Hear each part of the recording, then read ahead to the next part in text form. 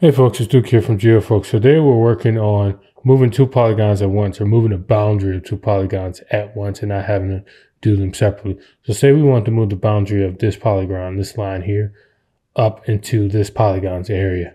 And we just want to move it once. What could we do? Well, we could just try to go to our edit tab, go to edit vertices, select a feature, then insert vertices in the places we want to move it and just move the feature up.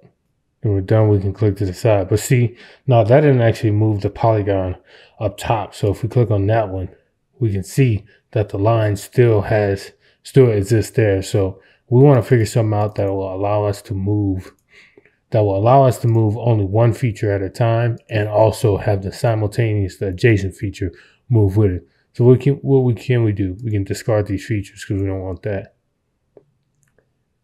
And what we can do is go to our edit tab, go up here to manage edits. We'll turn on map topology. When we have that, we'll get the option to click on edges here.